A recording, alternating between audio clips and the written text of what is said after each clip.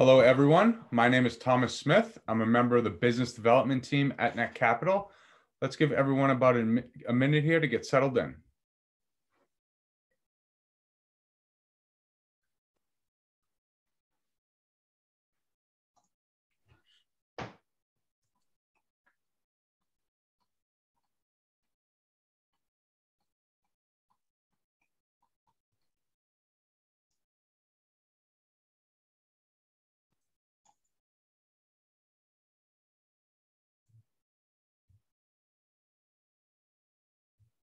All right, looks like we have folks settling in here. We'll just give a few more moments here.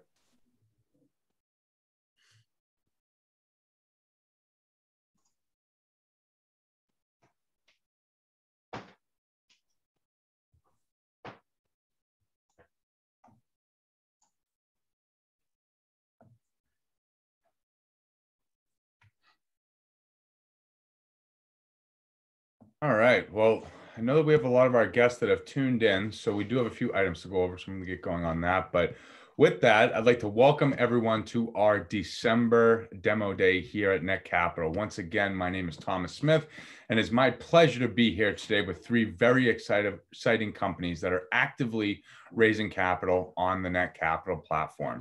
With us today, we have Orbital Assembly, Quants Compete, and Canine Biologics. At this time, I'm going to put each of their fundraising links in the chat.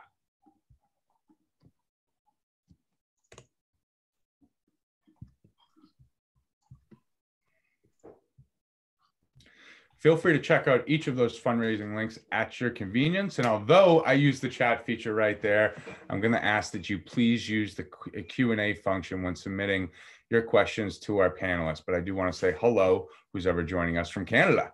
This, uh, this is exciting. Um, and this not only helps me stay organized, but it keeps our demo day as streamlined as possible. Next, I'd like to go over our format for today. Each company will be given five to 10 minutes for their presentation, and then we'll do a few minutes for Q&A after that. And again, please use the Q&A function when submitting your questions. Now, I know we have a lot of investors that are joining us that have previously invested in one or maybe all of these companies. Um, and we also have a bunch of investors who are here to learn more. So in the interest of time, I'd like to welcome Tim Alatorre, COO and CFO of Orbital Assembly. Tim, why don't you come on in here and tell everyone about what you and your team are building at Orbital? Great. Yeah. Thanks, Thomas. Really appreciate the invitation here today and glad to be joined by Jeff and Matt as well. Uh, this is actually our second time raising capital with Netcapital. We had a very successful raise earlier this year and uh, that was the first time we opened up for investment to our supporters. And we actually sold out million dollar raise in about a week.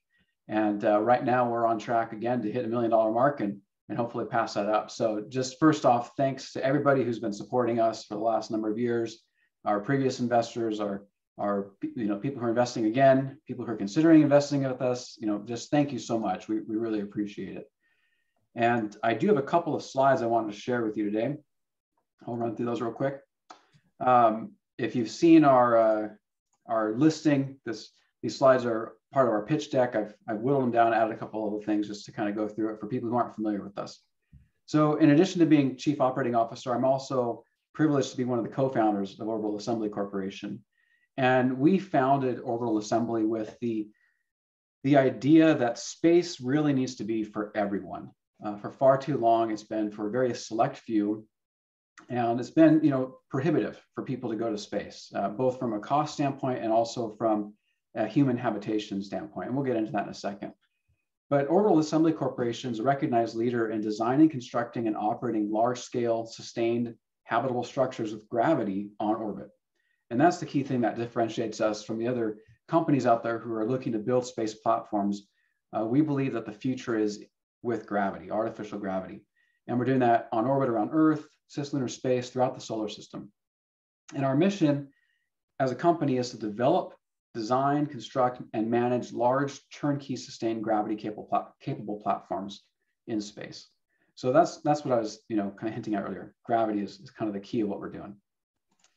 So why is it so important? Why aren't people thriving in space? Um, you know, we've been in space now for over 50 years, and less than 600 people have, have been in space, and and no one has really been up in space for more than a, year or two.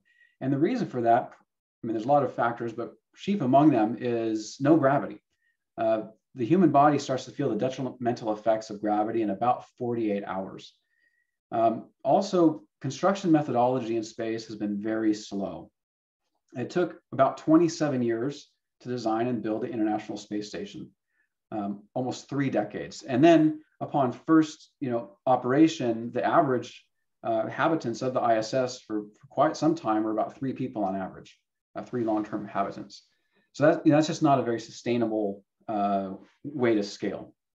And another part of it is there's a there's a history and a tradition of having every part be unique. Uh, the International Space Station, just there's thousands of different vendors and suppliers all pr providing a one-off piece. And so you don't get those economies of scale that you see in other industries. So orbital assembly, we're working to, to change that paradigm. We're building platforms that enable artificial gravity. We developed new technologies and methodologies for building on orbit very quickly and at scale. And then all of our systems are very forward feeding uh, and using duplicate parts to be able to get those economies of scale and feed that which feed forward into the next the next platform. So, you know, backing any great project, there has to be a great team, and we have this is our executive team here, uh, just uh, a whole host of very experienced individuals. We have uh, people who've worked for decades with Jet Propulsion Laboratories, who've launched uh, spacecraft to you know pretty much every planet in the solar system people with uh, business and legal experience. Um, just just a real real fantastic team, and it's a privilege to work with them. So how are we doing it? Well, uh, the backbone of all of our our work here is what we're calling our STAR platform, the Structural Truss Assembly Robot. And STAR allows us to create a variety of different truss shapes, straight, curved, rectangular, triangular, um, and it's all automated using um, a series of prefabricated trusses. So we're able to launch a, a large final volume in a very small package uh, with existing launch technologies, which is, is really key. And earlier this year, we actually built a ground demonstrator of our STAR technology. Uh, this is the, uh, the D star, the demonstrator star that was sitting in our Southern California facility. And uh, we, you know, tested our methodologies, ran it through its paces. We actually, over a period of months, were able to refine the process quite a bit. And then we did a demonstration for the public and the press and our investors in June this year, uh, where we actually had beaten our previous records. Uh, and when we're not dealing with gravity and we get some or more of the automated parts done, we're, we're really uh, looking forward to having uh, large structures built very rapidly uh, in a very cost-effective way on orbit. So we've been assembling a team of partners and different organizations. Uh, these are some of the people who, who we're working with. Either uh, they've expressed interest in being our customers or we're actively working with them on developing hardware. Uh, Rogue Space Systems, they're providing some of our uh, robotic drones uh, for observation and potentially in the future also manipulating and moving uh, pieces around our construction yards. Um, Sierra Space, if, We'll see some other renderings here. They make the Dream Chaser craft, and we're looking forward to working with them on uh, providing the escape emergency vehicles for our, our, our, larger space stations. And of course, there's some other uh, you know familiar names in there. You'll see if there's uh, if you're familiar with space at all. Um, Arizona State University. We we actually have uh, a really great collaboration with them. We've got some students working on having some student projects, uh, kind of uh, building off of what we're doing and, and, and giving their students some opportunities to do some research. We've got a collaboration with Biosphere 2 and the SAM project there where they're doing a, a, a habitation simulations. So just a lot of really exciting things going on. Um, and then, you know, we're in this to make money as well. and if you're investing, that's kind of the goal, right? Space in, in the near term market, uh, analysts from a, a, variety of different organizations are expecting commercialization in space to be a $60 billion per year industry. And based on our technologies, we're, we're conservatively estimating that we can capture about 7.2 billion of that in the first year of operation of our Pioneer class station. And I'll show you kind of the, the sequence here in a second. But uh, you know, ultimately OAC, it, Orbital Assembly is a design-based construction and development company. So right now we have designs that we're patenting and you know getting IP in the mix that we can then potentially license other companies as well. But our, our near-term roadmap, our product roadmap here is uh, the P-Star, which is our Pioneer class star platform, will be launching uh, towards the end of 2023. And that's going to be building our gravity ring, which is a large rotating platform that will be generating artificial gravity at scale for the first time on orbit. And I say at scale because there have been some centrifuges that have been run on ISS, but we're building, you know, multi-meter diameter large platforms. And then right on the heels of that in 2025, we're going to start construction and, and have operation for of our first habitable station, the Pioneer class station. And then all of that technology feeds forward into the much larger Voyager class of station, which will have first operation in 2027. So, so that, that's our product roadmap. It all started this year, you know, with the D-Star and our ground demonstrator, and we're working right now on the flight hardware for that P-Star, that first orbital mission in 2023. So this is, you know, our timeline, kind of how it rolls out quarter by quarter. All again, you know, right now, all hands are on deck. We're sprinting towards getting this first habitable station operational in 2025 with uh, the Pioneer class station. So just running down really quickly, kind of those three stations, the gravity ring, uh, first artificial gravity commercial space station. We're gonna be hosting a variety of different payloads, commercial payloads, uh, nothing, um, no, no humans, potentially some smaller biologicals. Pioneer class station, that's gonna be the first one, but we'll actually have people on that. And that one's gonna be able to spin up and we'll have, uh, for tourists, it's gonna have less than lunar gravity, but uh, for you know researchers and people who've trained, uh, we anticipate going to lunar and possibly even higher gravity levels. So a lot of possibilities there for developing and testing technology headed to the Artemis program and the moon.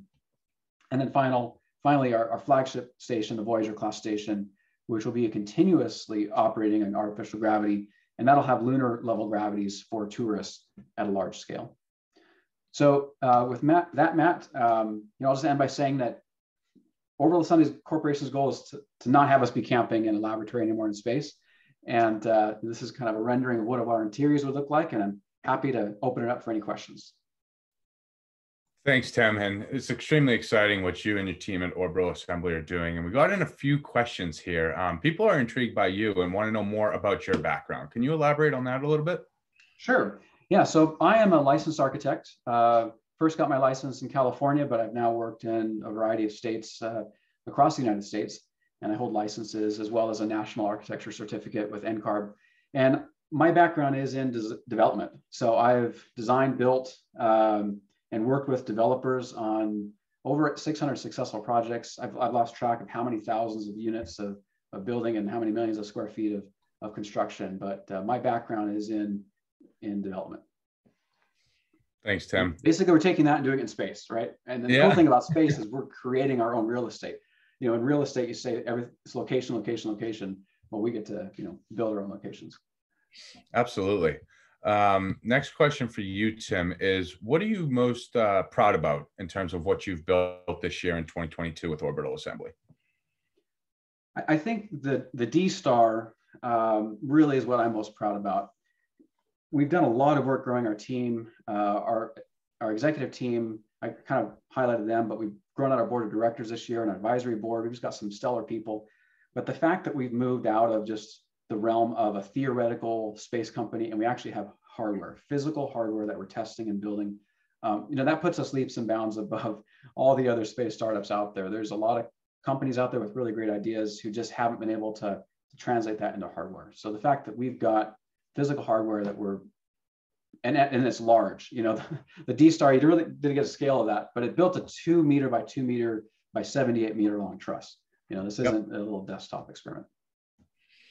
And I guess to go off that one, um, Tim, I see uh, the milestone for 2023. Um, can you allude to the milestones in 2022 for orbital assembly?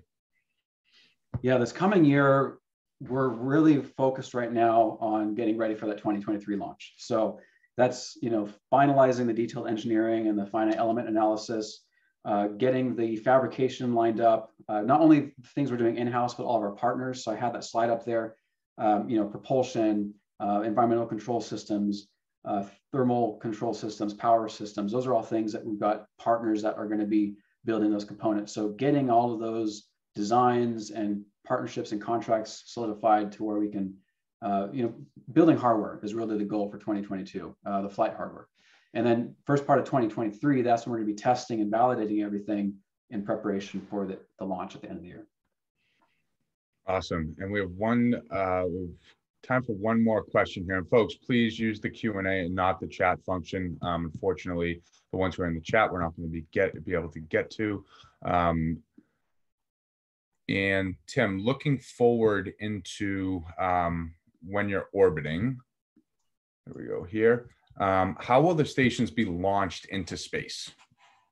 So that's where our, our STAR platform comes into play. So they basically get packaged up, all the structural elements, they get launched, and then this is actually Gravity Ring and P-Star behind me.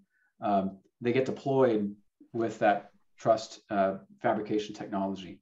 And then the habitation modules, those would fit on um, a, a, standard rocket, and then they would be they would be assembled uh, or mounted to to the structural elements. Awesome. Thanks, Tim. It is always a pleasure to speak with you. I know you're on your second raise with us here at Netcapital, and um, and we just love what you're doing. So um, thank you very much. And with that, I'd like to welcome in Quants Compete founder and CEO Matt Jones. Matt, the stage is yours. All right. Well, thank you. And, and that was a very exciting presentation. So we're going to shift gears into the world of finance now. Um, Quants Compete is a robo advisor. That's the simplest way to put it.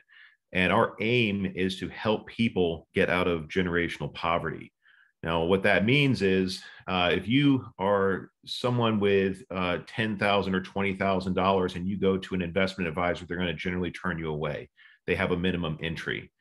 And what we've done is we've created an automated platform, something that allows us to um, serve a, a, large volume of clients. And so, because that large volume is in, in, in place, we can reduce the um, minimum amount to um, as, as low as you want to go.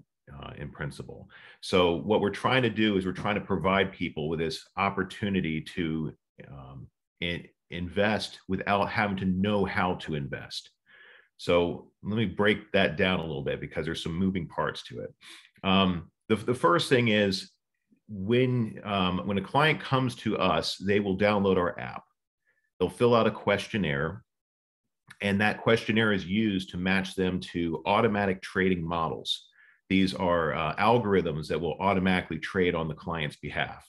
And so that's what I mean, where the uh, the client doesn't have to know how to trade, or or they might actually be excited about the fact that they do know something about trading, but they've realized that through maybe some of these other DIY outfits that they're not very good at it. You know, greed or fear kind of get the best of them, and so they want somebody else to do the trading for them, and that's where these algorithms come into play.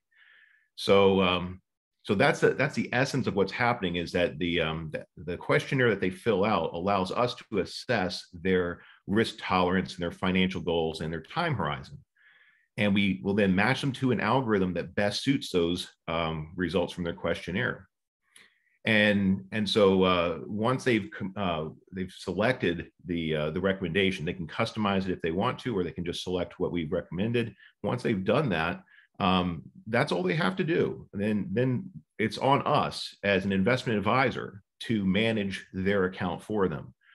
Uh, we encourage them to contribute monthly to their account to accelerate the growth.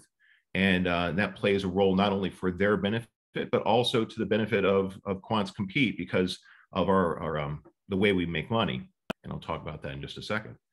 So it's, it's really an exciting um, it's an exciting idea that we have taken from concept to reality. It's in uh, it's going beyond MVP now. We're adding features.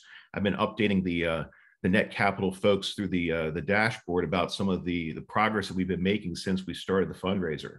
And um, I'm just I'm genuinely excited about this because I feel like it has a real social impact and it's going to help a lot of people. Now, it doesn't mean we're going to turn away anybody with a large account, but um, it's very exciting to know that we can help those that have smaller accounts. They recognize that there's an importance to investing in their future, um, but they, uh, they they don't have time. They they might be focused on advancing their own career that's not financially related. They might have uh, kids in uh, um, you know various uh, sports they have to tend to. And you know there's just there's life right? People have life to tend to in the present and they don't always have time to think about the future. And so quants compete is structured so we can focus on the future of those people.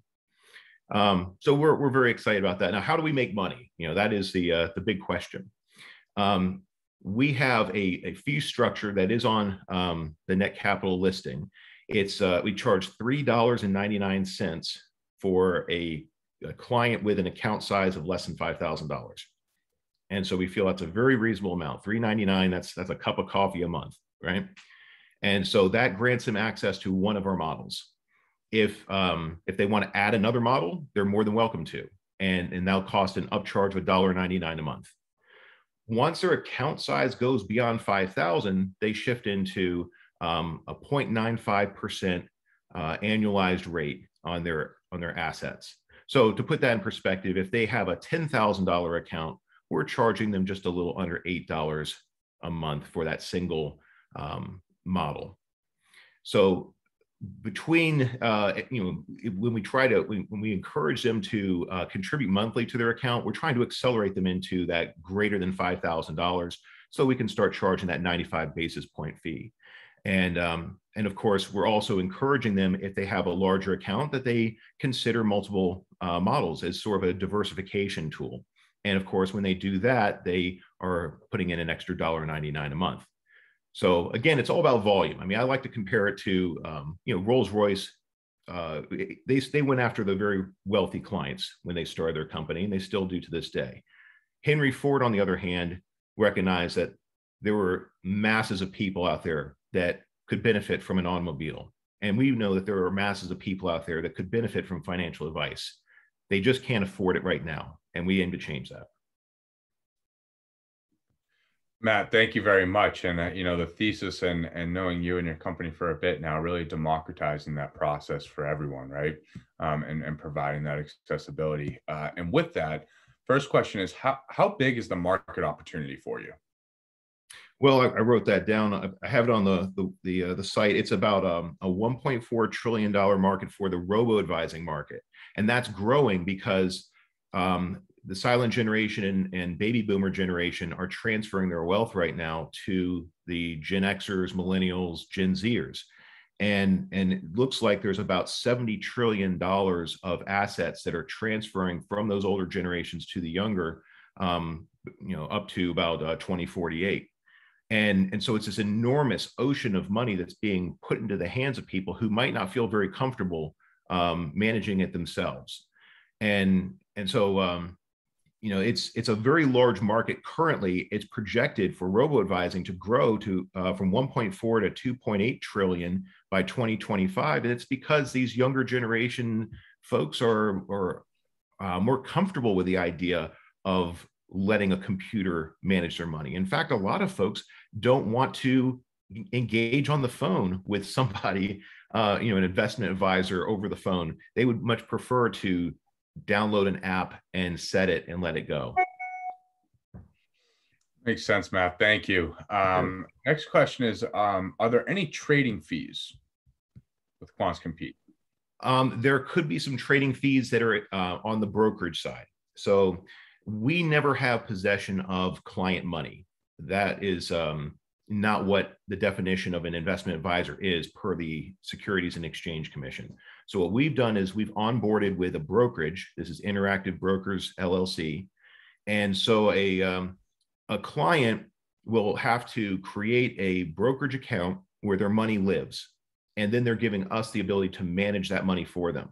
So depending on um, the type of transaction there could be like if, it, if we're buying etfs for example for a client there is an expense ratio associated with the etf that's not something that we can circumvent so that is something that gets applied as well. And so it's it's our goal to make wise decisions based on the size of the client's account and their risk tolerance and and their financial goals and and try to outperform the fees that we're uh, we're deducting as well as the fees that will um, potentially come from the brokerage firm. Thanks, Matt. Um, next question is going into the new year. What are you most excited about, and what can folks be looking forward to with Quants Competes And this question is for the first uh, for Q1, Q2, and Q3 of next year. wow. well, I, I can say for about the next 90 days, we're going to be adding a lot more features to the app and bringing it past well past that MVP. And, and I'm very excited about that because what we're trying to do is lay the foundation for a high conversion ratio when users come to our site and become clients. So the, the more streamlined uh, the process, the greater potential for conversion ratio. And we have a lot of things that are, we're going to be making announcements about uh, throughout the next uh, 90 days. And uh, I guess we're just gonna you have to wait and see. Uh, I can't announce them just yet. But uh, second to that, in terms of you know that's that's the uh, the front end. We've got some back end development taking place too. Um, but we're also uh, excited about um, growing the team internally. We've got a lot of contractors that are extraordinarily talented that we work with. Um, our our um, objective is to bring some of that in house, and so that'll be a, another aspect of the uh, quarter one, quarter two, and quarter three. You could see um, additions to the team. Matt, that's great. Well, we uh, we've enjoyed our time thus far working with you at Netcapital, and personally, am excited to see what the new year in Q1, Q2, Q3, and Q4 brings for you and your team. Um, always a pleasure. Thank you and so much. Thank you, Matt. And with that, we've last but certainly not least, I'd like to welcome in founder, president, and CEO of Canine Biologics, Jeff Sutherland. Jeff, the stage is yours. Thank you, Tom. I appreciate it. And Matt and Tim, I really enjoyed your presentations. Wanted to be an astronaut as a kid and can always use more information about handling my money. So I appreciate both of you uh, uh, sharing with us. Uh, Canine Biologics, I'm going to share a screen to help me get through uh, some discussion points. So if you give me just a moment here, I will share. And if everybody goes, ah, I'll know you're seeing our opening slide.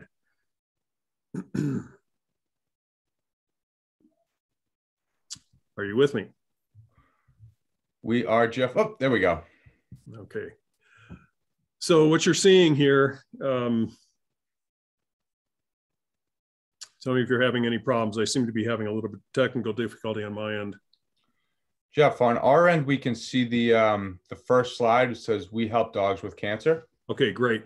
Um, so what you're looking at is Walter and his little baby brother in the diaper, Lincoln. Walter, this is not a stock photo. This is actually our very first client.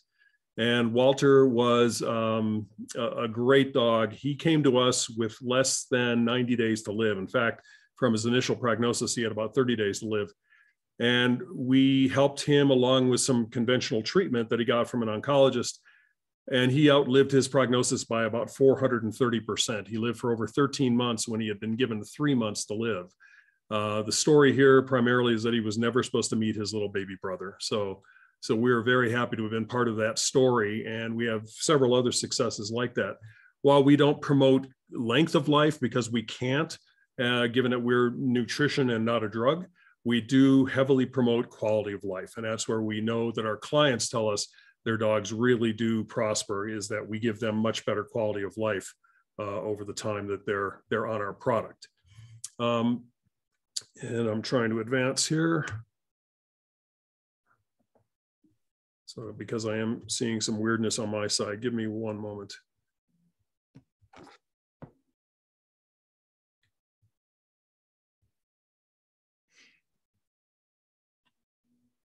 Isn't this always the way when you're doing a demonstration?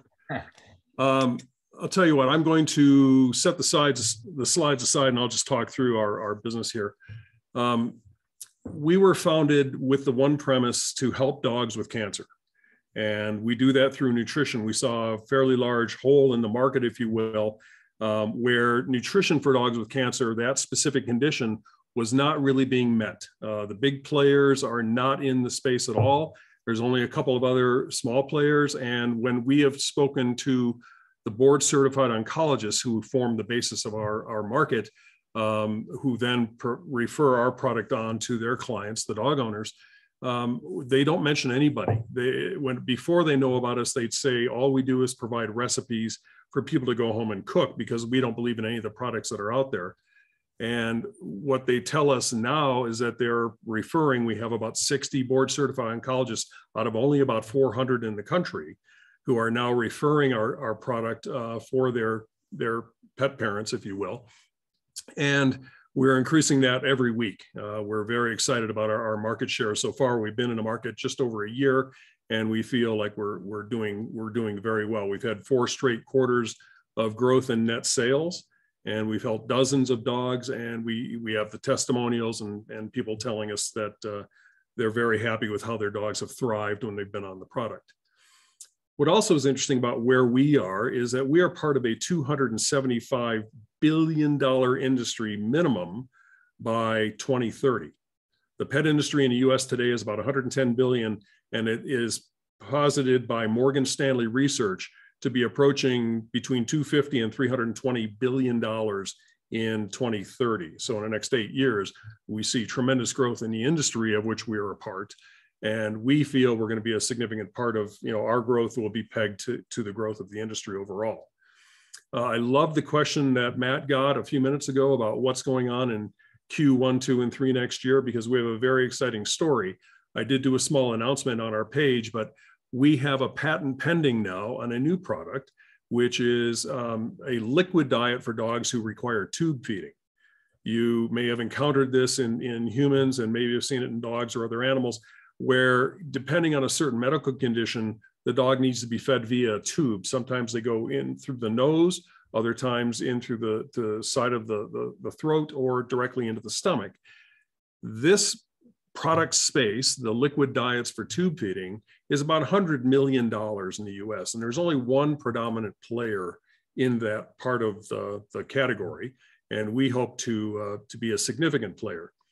What makes us very different in that space is, is what is out there today is akin to the human uh, product called Ensure, which is kind of a pre-made liquid diet that they just put into a large syringe and, and put down the tube for these animals, both dogs and now cats. It'll be our first entree into the cat realm. Um, that that they need that kind of nutrition, but it's kind of a haphazard, not a great fit, not a customized fit kind of diet.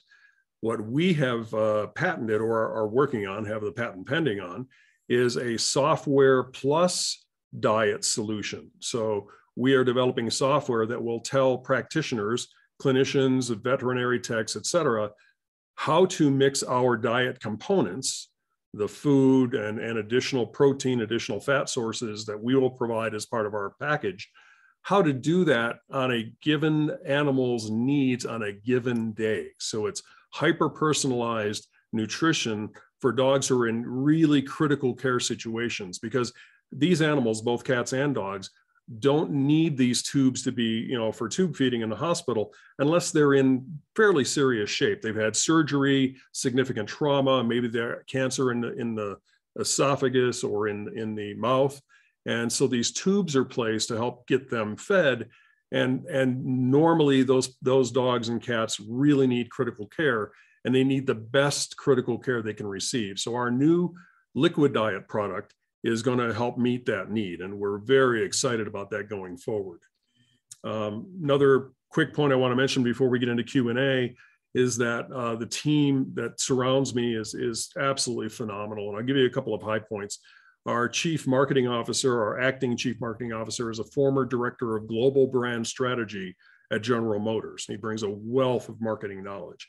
We have three PhD degreed veterinarians who help with uh, two who help with the formulation of our products, and a third who sits on our board and is actually the CEO of a, a, dog cancer company, if you will, that does genomic testing of tumors.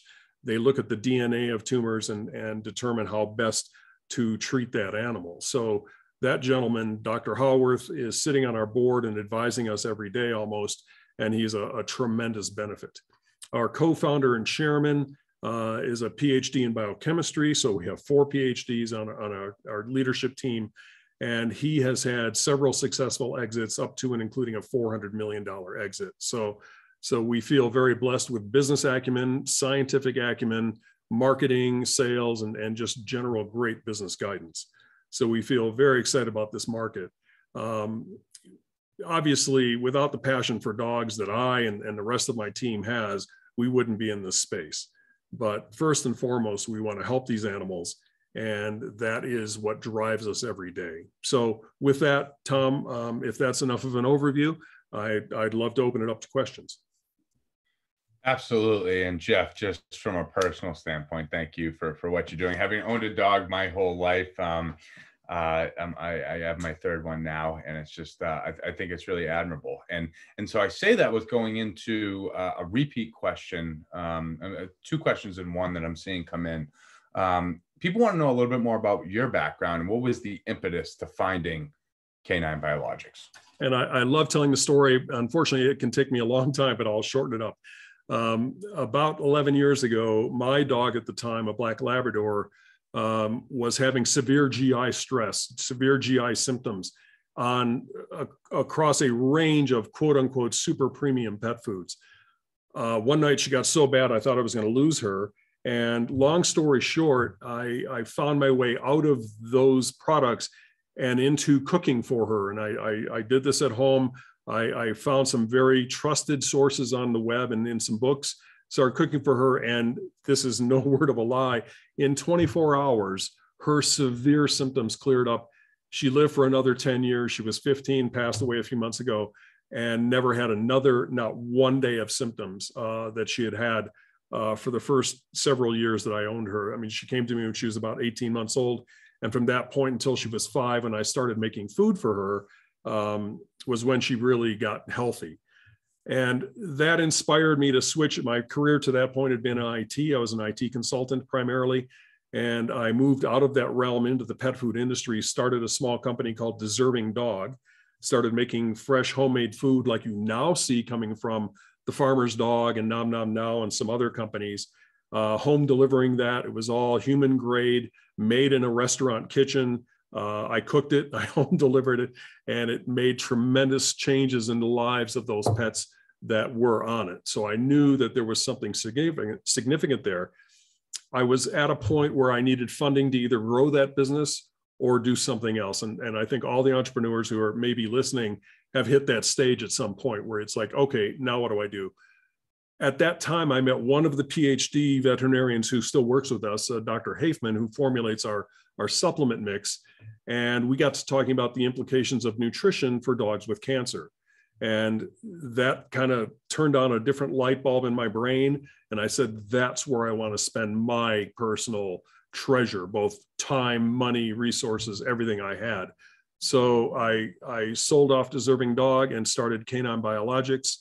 We went through some clinical trials. We, we reformulated. We finally got things together and last year came to market.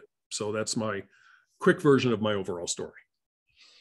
Thanks, Jeff. Uh, next question coming in is what are you most excited about in the interim? And I'll just say, you know, interim can be defined as um, next uh, quarter going into going into next year. What are you most excited about about Canine Biologics? Right. So so continued growth in our our main nutrition product line, which I have some examples sitting back here.